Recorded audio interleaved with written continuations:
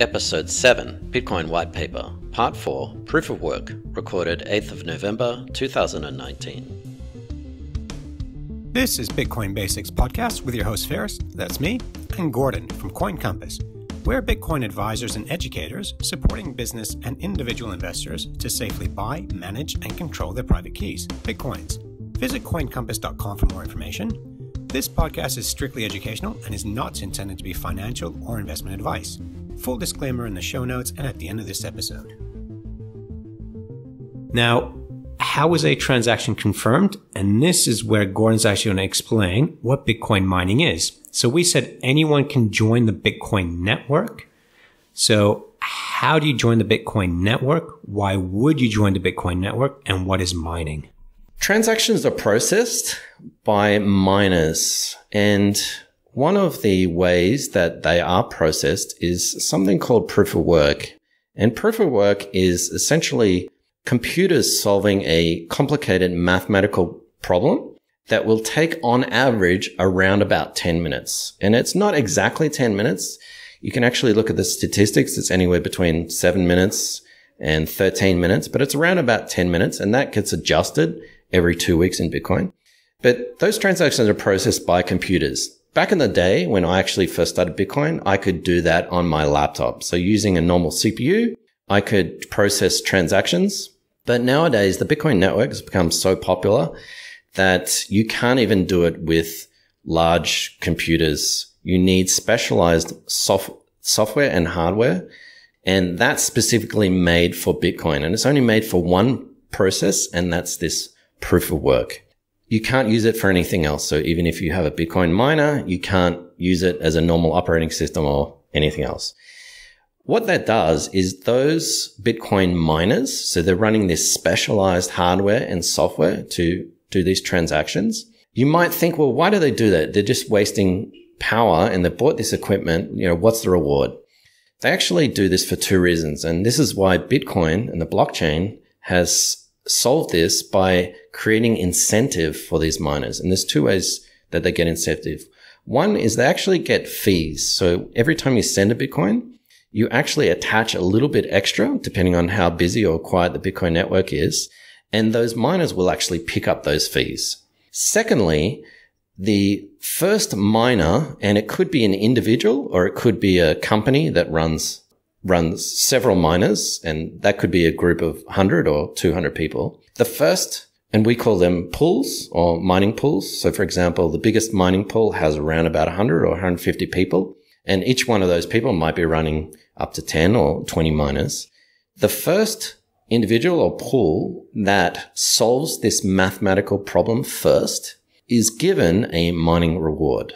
Bitcoin first started in 2008, 2009 and the mining reward for solving this mathematical problem in 10 minutes was 50 Bitcoin. So every 10 minutes, the Bitcoin network would give miners who solved the problem first 50 Bitcoins. Around about every four years, that starts to halve. So in 2008, it was 50. We then went on to about 2012 and that was 25. Then we went down to currently what it is now is 12.5. So every 10 minutes, so every time a new block starts, the individual or mining pool that solves that mathematical problem first is nowadays in 2018 given 12.5 bitcoins as an incentive for providing the security for processing the transactions on the Bitcoin network. Thanks, Gordon. Now, I think a good example for me that helped me understand how mining works, and it might not be an accurate one as far as the technology goes, um, but just, yeah, it helped me a lot is when you think of um, the film The Imitation Game, um, or anyone familiar with the Enigma machines that was used in World War II. So if you've seen The Imitation Game, um, Alan Turing basically designs a computer to break the German codes that they're sending from each other. So he is reverse engineering a code. And to do that, he puts his huge computer to work to reverse engineer the code so he can read the messages. So I kind of see Bitcoin and the blockchain as working the same way. I send you 10 Bitcoin. That's actually part of a mathematical formula. Um, for it to be confirmed, a computer has to solve the formula. And when the formula is solved, that's one confirmation. So if you started in Bitcoin early, because there was not much competition as far as computers go, you could get a laptop and you could put your laptop to work and solve the code. Now, obviously you're buying a laptop and you're using a lot of electricity. So as a reward, you get paid in Bitcoin. So I send someone some Bitcoin as a transaction fee. That's just like um, a bank fee. But also every 10 minutes, new Bitcoin are released and you've got to discover where are those Bitcoin. The way you discover those Bitcoin is by your computer cracking the code. Now, how's that go from my non-tech explanation Gords? At the end of the day, there's no incentive for someone to become a Bitcoin miner if they don't receive this mining reward. Um, so that's the incentive. It is a little bit different from processing the transactions. So that mathematical algorithm, the problem that they have to solve, it doesn't really matter what that mathematical algorithm is. It happens just to be a very long string of numbers with zeros and the computers are actually trying to solve how many zeros are in that long string of numbers.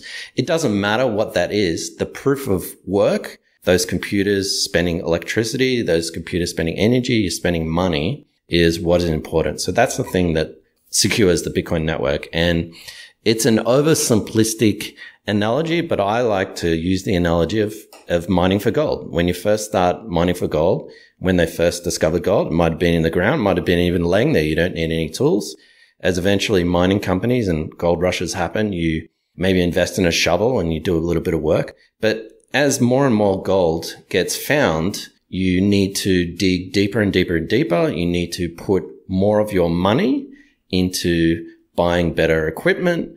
And now eventually in the current day, you have, you know, mines that are kilometers and kilometers beneath the surface and you've got large companies doing it. An individual prospector can't really mine for gold. Similar to Bitcoin, you need to have a significant financial investment, just like if in 2018 you wanted to find some gold.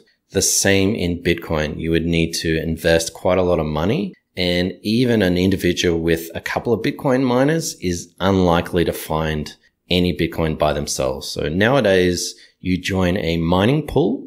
And if that mining pool happens to solve the algorithm first, then that mining pool gets the 12.5 Bitcoin reward. But of course, if you've got 200 people in the mining pool, you're getting a fraction of that.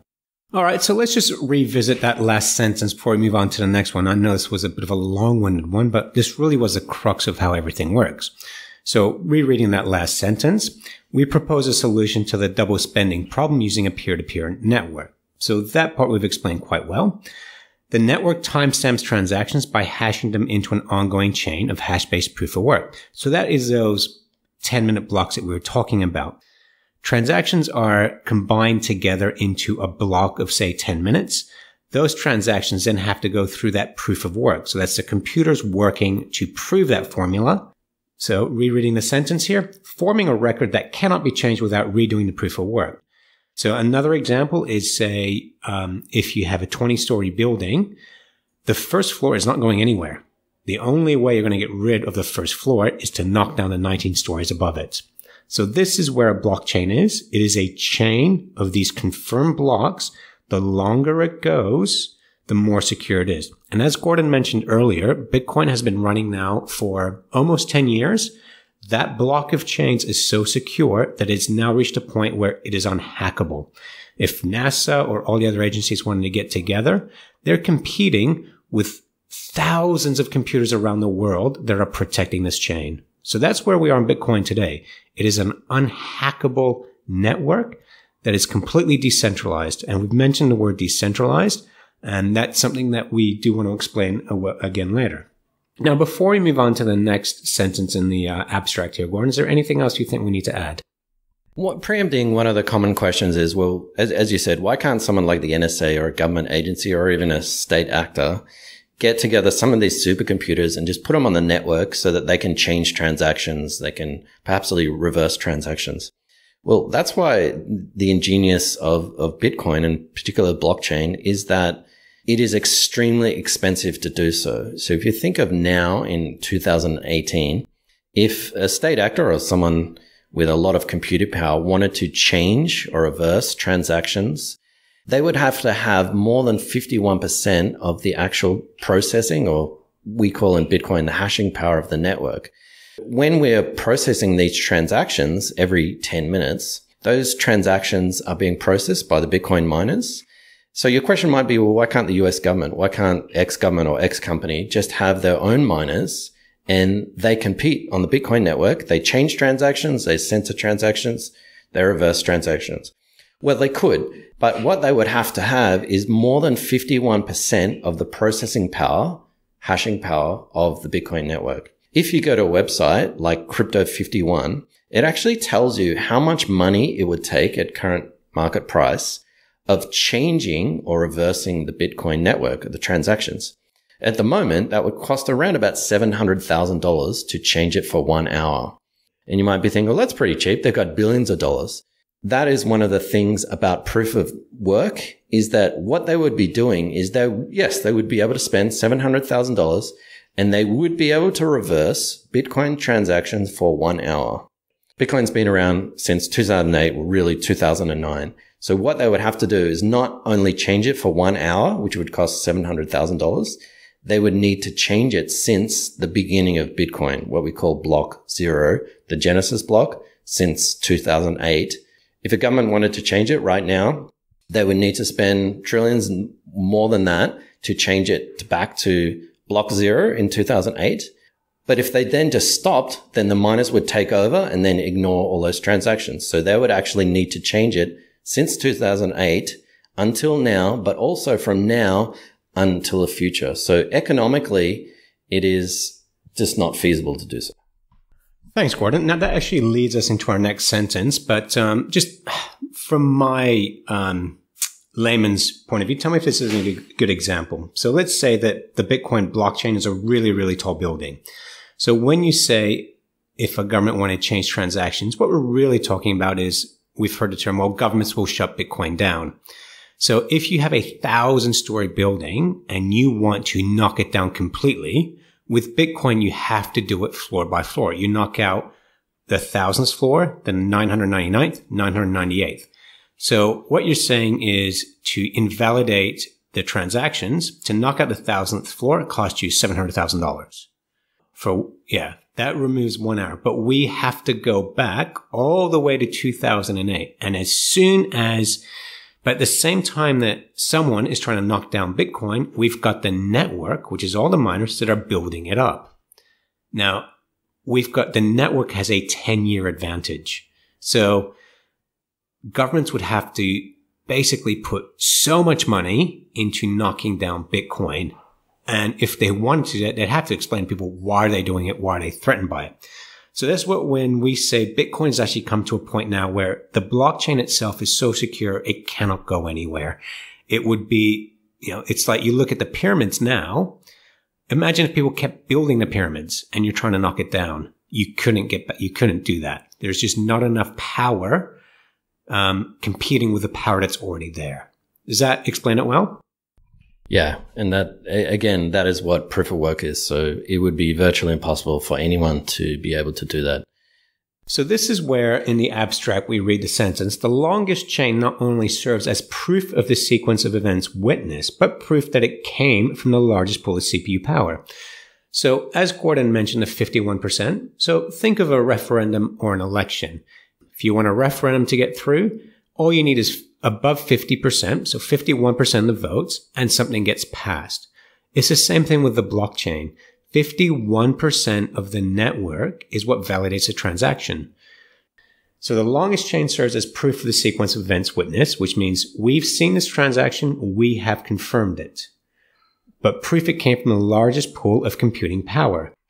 So where Gordon mentioned the 51%, so think of an election. If you want to vote through a referendum, all you need is a 51% of the people that showed up to vote for it, and it's passed. The same thing works on the Bitcoin blockchain. Once you have 51% of the people voting by their computer power, that forms the longest chain, and that confirmation goes through. So you can actually see that the Bitcoin network, which has been around for 10 years, is people voluntarily joining the network and voting together to pass these things through. So even though it is um, independent. It is actually quite, it is autonomous. It's very cooperative. People have a financial incentive to keep Bitcoin going. I, I, like your analogy of the building and the building is 10 years old. So it's a thousand story building and that building is really secure. It's got an, an enormous foundation. It's built with steel and it is secure. Someone who wanted to attack what we call a 51% attack would actually have to start knocking down those floors from the top while Bitcoiners were trying to build up at the same time. One of the reasons why people complain about Bitcoin is that it wastes so much energy and it wastes so much power. And that's actually important because that energy, the proof of work actually secures the network. So if we go back to our tower again, this may be using the analogy a bit too much. Someone could actually build the same tower out of clay, but that's easy to knock down. This tower that of Bitcoin has been built over 10 years. It's strong, as secure, if you don't use that proof of work, which in Bitcoin is basically using money to buy mining equipment and paying for electricity, then what you've done instead is build a blockchain like a thousand story building, but out of paper or out of clay. You haven't really put that energy into a proof of work. So with that, this actually, we've explained the next sentence that comes along in the abstract. As long as the majority of CPU power is controlled by nodes that are not cooperating to attack the network, they'll generate the longest chain and outpace attackers. So the analogy we've just given really explains this. The majority of computers on the network, which is 51%, that are not cooperating to attack the network, they'll generate the longest chain. So they're working together to keep the chain going. So if 51% of the computers on the network go, you know what? We want to start attacking the building and bringing it down. Then yes, that can happen. But this isn't an external power. This is people on the network. But there's no incentive for them to do that. They're getting paid in Bitcoin, transaction fees, and Bitcoin mining. Thanks for watching or listening. Please visit coincompass.com slash free to register to our socials and discover other free content. Subscribing, liking, and following helps this content remain ad free. Until next time. Disclaimer Any content provided by Coin Compass or the Bitcoin Basics podcast is for educational and informational purposes only and is not investment, legal, tax, or any other professional advice. A qualified professional should be consulted before making any financial decisions. Coin Compass or the Bitcoin Basics podcast will at times recommend certain products, services, and technologies but these are opinions based upon our own or podcast guests' experience and not endorsements. We take no liability for out of date or inaccurate information, software bugs, manufacturing errors, technology misuse, or issues involving third parties. Visit coincompass.com for more information and please contact us.